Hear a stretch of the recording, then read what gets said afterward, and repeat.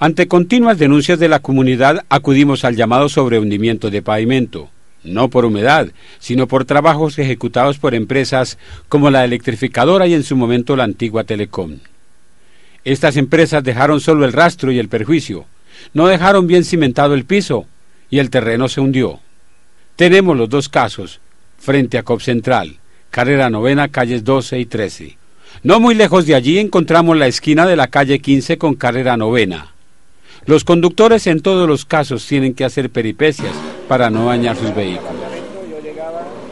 Bajamos a la carrera décima con la calle 15 y ahí está el tercer hundimiento que sin piedad golpea las partes sensibles de los vehículos y motos.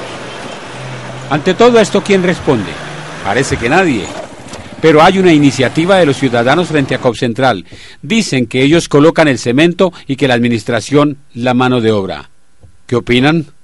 ¿Y qué deciden los demás afectados? ¿Y las autoridades locales? ¿Qué? Que alguien diga algo. O si no, el aguijón seguirá picando.